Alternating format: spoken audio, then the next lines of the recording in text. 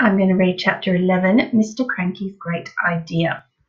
The next day, George's father came down to breakfast in a state of greater excitement than ever before. I've been awake all night thinking about it, he cried. About what, Dad? George asked him. About your marvellous medicine, of course. We can't stop now, my boy. We must start making more of it at once. More and more and more. The giant saucepan had been completely emptied the day before, because there had been so many sheep and pigs and cows and bullocks to be dosed. But why do we need more, Dad? George asked. We've done all our own animals, and we've made Grandma feel as frisky as a ferret, even though she does have to sleep in the barn.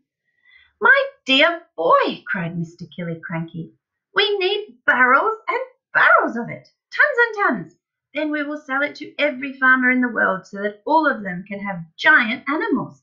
We will build a marvellous medicine factory and sell the stuff in bottles at five pounds a time. We will become rich and you will become famous. But wait a minute, Dad, George said. There's no waiting, cried Mr. Kranky, working himself up so much that he put butter in his coffee and milk on his toast.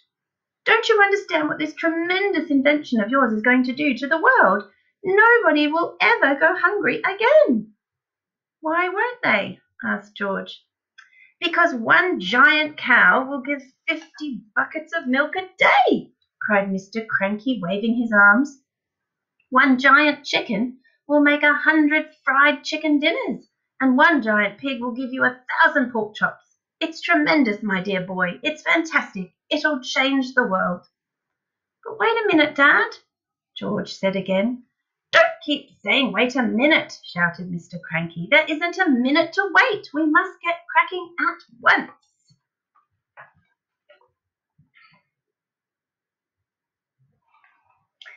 Do calm down, my dear, Mrs. Kranky said from the other end of the table, and stop putting marmalade on your cornflakes. Oh, the heck with my cornflakes, cried Mr. Kranky, leaping up from his chair. Come on, George, let's get going, and the first thing we'll do is make one more saucepanful as a tester. But, Dad, said little George, the trouble is there won't be any trouble, my boy, cried Mr. Kranky. How can there possibly be any trouble? All you've got to do is put the same stuff into the saucepan as you did yesterday, and while you're doing it, I'll write down each and every item. That's how we'll get the magic recipe. But, Dad, George said, please listen to me. Why don't you listen to him? Mrs. Kranky said. The boy's trying to tell you something.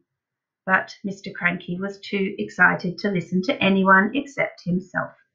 And then, he cried, when the new mixture is ready, we'll test it out on an old hen just to make absolutely sure we've got it right. And after that, we'll all shout hooray and build the giant factory. But, Dad, come on then, what is it you want to say?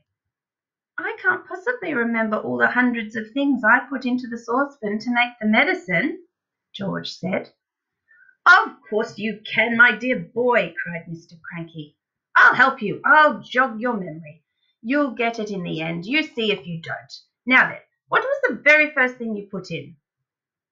I went up to the bathroom first, George said. I used a lot of things in the bathroom and on Mummy's dressing table. Come on then, cried Mr. Killy Kranky. Up we go to the bathroom. When they got there, they found, of course, a whole lot of empty tubes and empty aerosols and empty bottles. That's great, said Mr. Kranky. That tells us exactly what you used. If anything is empty, it means you used it. So Mr. Kranky started making a list of everything that was empty in the bathroom then they went to Mrs. Kranky's dressing table. A box of powder, said Mr. Kranky, writing it down. Helga's hair set, flowers of turnips perfume. Terrific! This is going to be easy. Where did you go next? To the laundry room, George said. But are you sure you haven't missed anything out up here, Dad? Well, that's up to you, my boy, Mr. Kranky said. Have I? I don't think so, George said. So down they went to the laundry room, and once again Mr. Kranky wrote down the names of all the empty bottles and cans. My goodness me, what a mass of stuff you used, he cried. No wonder it did magic things. Is that the lot?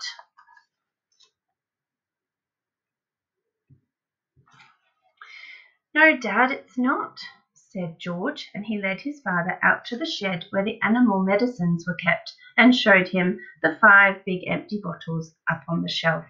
Mr. Kranky wrote down all of their names. Anything else? Mr. Kranky asked.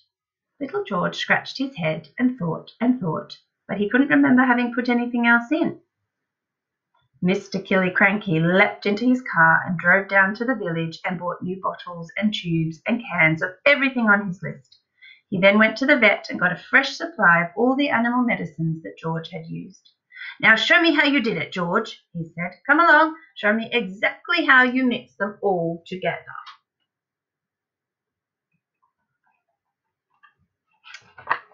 The next chapter is called Marvelous Medicine Number Two just have a think about that, whether you think that George really has remembered all the items, because that's why we have recipes, isn't it? And that's why we have procedures, so you can do the same thing every time. If you're making pancakes, you'd want to remember how much of everything to put in, and if you don't, they're not going to turn out exactly the right way.